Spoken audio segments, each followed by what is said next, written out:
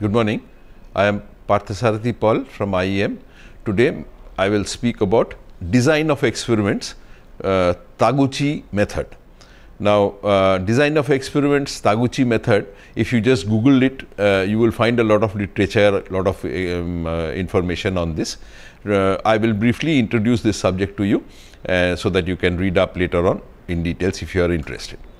Now, uh, what it actually, uh, uh, what we actually mean by design of experiment, experiments is uh, finding the combination of controllable variables to yield the best result, best result in the response variable. Now, this has some relation with what we um, uh, uh, what we discussed during my talk on fuzzy logic systems. But in any case, I will try to uh, uh, explain what is controllable variable, what is a response variable, and uh, what is it that we are trying to control here. So, uh, we will do some little recapitulation before we go ahead with this subject. So, um, in my next slide, I will just talk about a little bit about Taguchi. Now, Genichi Taguchi was an engineer, he was also a statistician. Uh, he developed a methodology for applying statistics to improve quality of manufactured goods. Taguchi methods have been accepted as a valid extension to the existing body of uh, body of knowledge.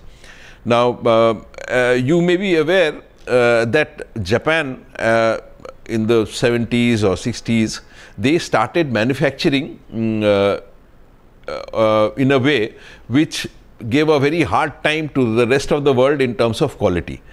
Quality was a kind of synonymous with Japanese manufactured products and uh, Taguchi as well as some others like uh, Deming and many others who contributed to this uh, uh fame of Japan as a manufacturing hub. And um, uh, Deming, though he was an American, he came down to uh, Japan and most of his work was carried out in Japan. And uh, uh Taguchi also contributed a lot in the revolution in quality. So you've heard of total total quality management, quality circles which were uh, in Japan, which resulted in Japanese quality being so superior to the rest of the world that uh, people took notice that okay, what are the methods that they are following, what are they doing that uh, can be kind of email, uh, emulated in the rest of the world. So this was a brief introduction on Taguchi. Now we will talk about what we mean by controllable variables, what is uncontrollable variable and what is it that we want um, uh, at the output. Now, this is a slide which I used in my previous uh, uh lectures before, uh, but nevertheless, I will just uh, talk about it just to make this topic a little more complete. Now, in any production or in a process um, situation, process plant or something, then uh, in a manufacturing process mainly uh, uh, we uh, see that there is an input coming in and there is a transformation process that is happening and then finally you have the output. Now in the transformation process you have some controllable variables. Now these are defined as x1, x2 and so on.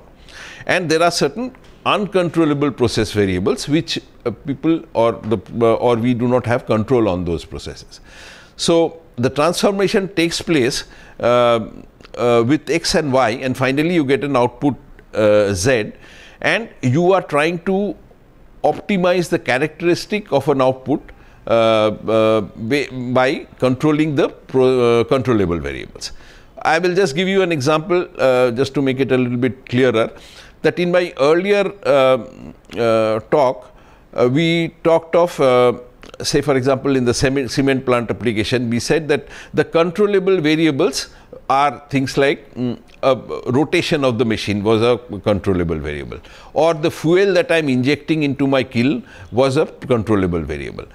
And output characteristic is the characteristics in the output uh, that you want to achieve or desired output.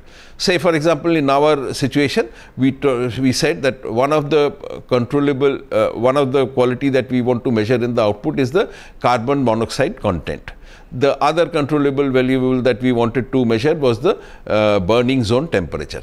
So these are, uh, these are characteristics that we want to measure. Supposing we uh, talk of another process like a cement or let's say steel plant, steel plant the output steel we the output uh, we want maybe in one of the situations where we want the output of steel should contain less than 1 percent hydrogen because there are impurities which are coming in uh, at the output we want the output to be minimized.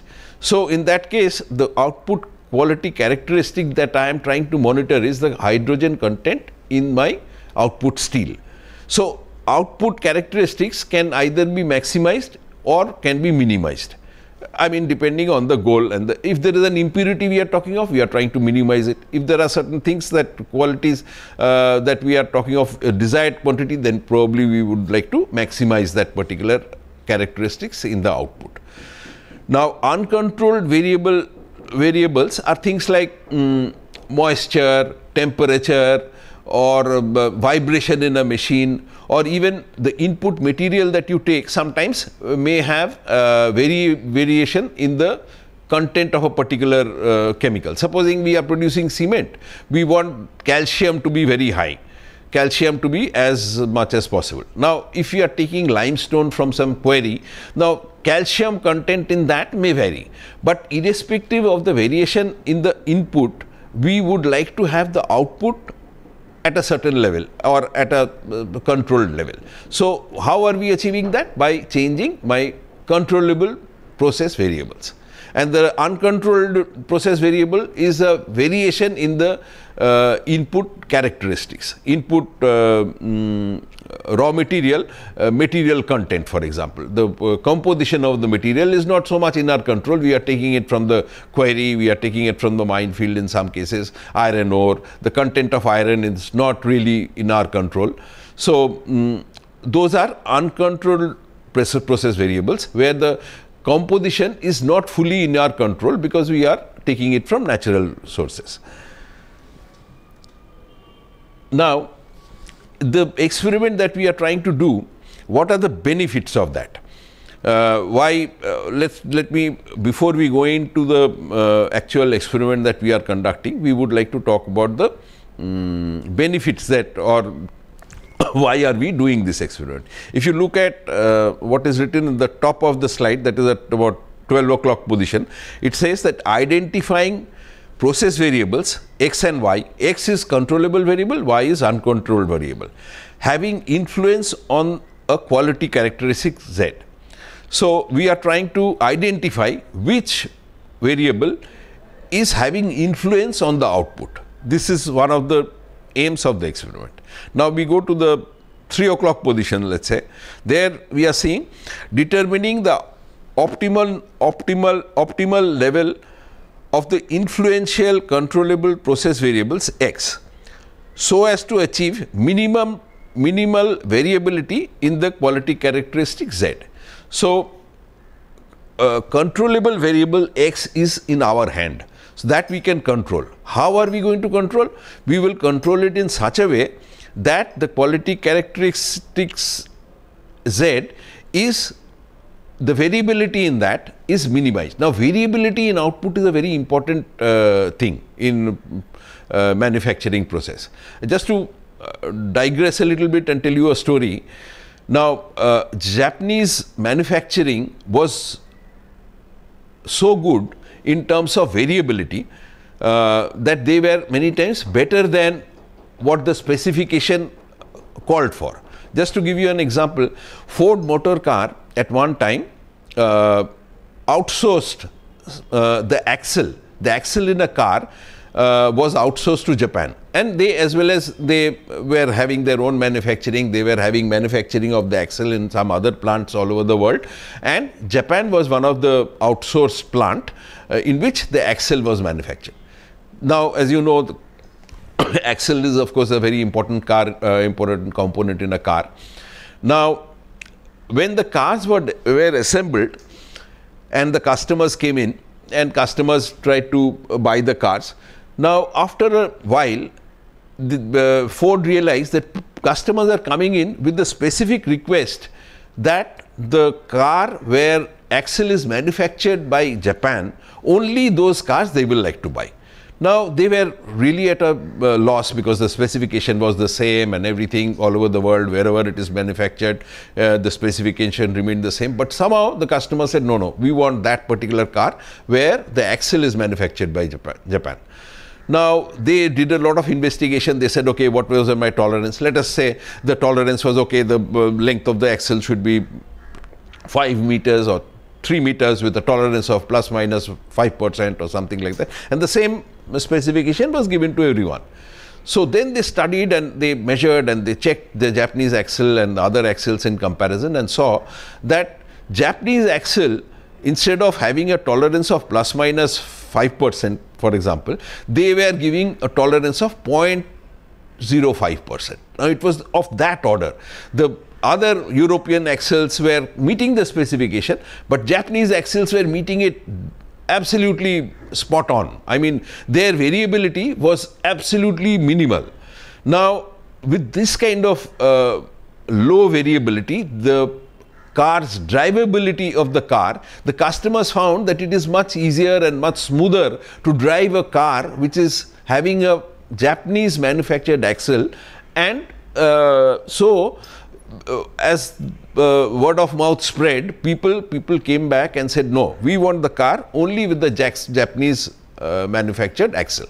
So you can see the variability can play a big role, and in fact, uh, bigger role than even what the manufacturers themselves understood. They gave a fairly large tolerance, plus minus 5 percent, for example, whereas Japanese made it at a point 0.5 or 0.05 tolerance. So that made such a difference in the in the drivability of the car that the customers always wanted that.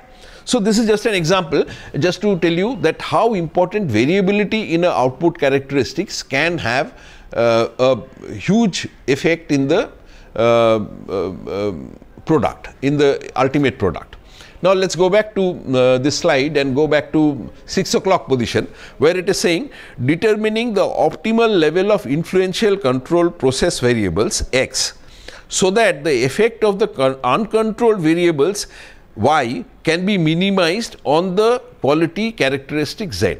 So what we are saying here is that we will try to control x or the control variable in such a way that even if there is some variation in the uncontrolled variable y, you would be able to uh, uh, get the same result in z. So, you are minimizing the effect of variations in the uncontrolled variable. So, this is another aim of the experiment which you will see how we are getting there. Now, at 9 o'clock position if you see determining the optimal level of influential process variables x so as to have the quality characteristic z as close as possible to the desired value. So, you have a desired value. So, you are changing the controllable variables in such a way that your output is as close as possible to the desired value. So, this is the aim of the experiment. Now, in the next uh, part, we will actually talk about designing experiments and we will try to understand what orthogonality is. Thank you. I will take it up in the next part.